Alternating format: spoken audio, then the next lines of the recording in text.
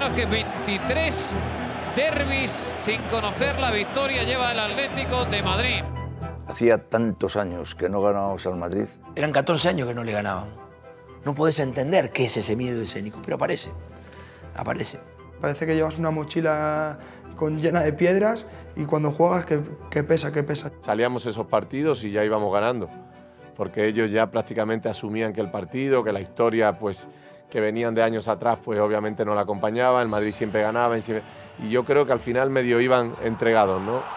Lo que se sentía en ese derby era algo especial, eran siempre batallas muy, muy bonitas y se sentía esa rivalidad en la calle.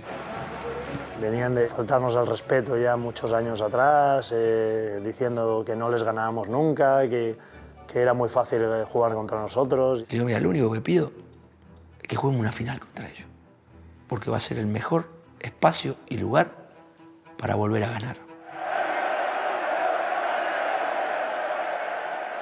La Copa del Rey se suele jugar en campo neutral, no había campo neutral para jugar, y que de repente el único estadio que existía en España era el Bernabéu. Necesitábamos cambiar la historia de una vez por todas. Esa es la final es esa. Y la gente decía, o tenemos que ganar esta sí o sí. Me acuerdo muy bien de las caras, de cómo estaban esas caras y yo veía caras de campeón. Yo tenía un equipazo, Ronaldo, Higuaín, Di María, Xavi Alonso. Yo normalmente cuando juego contra un equipo, normalmente me da igual el entrenador.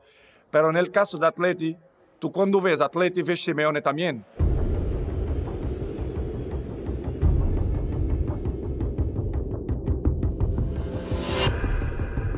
Un tío competitivo, un tío que va ahí, que no tiene miedo y siempre he respetado mucho como un, un bravo entrenador.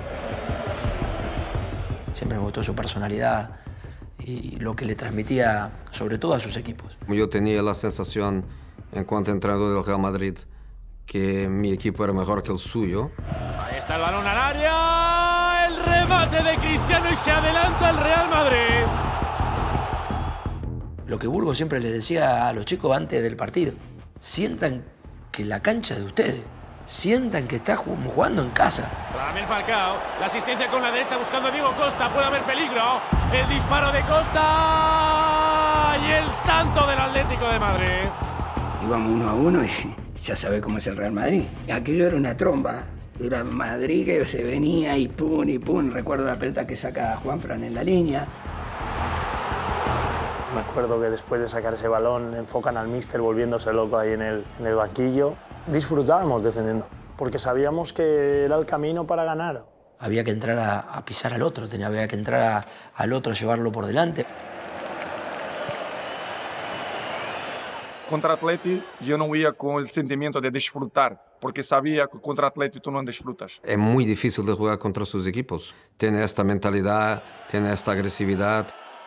Y empezó, viste, ese, ese aroma que cambia la cosa. Terminan los 90, nos reunimos todos, él dice, no va a haber un cambio, no hay un cambio, ustedes sacan este partido, no hay un cambio. Adentro. Y no se equivocó, a los cinco minutos de la prórroga.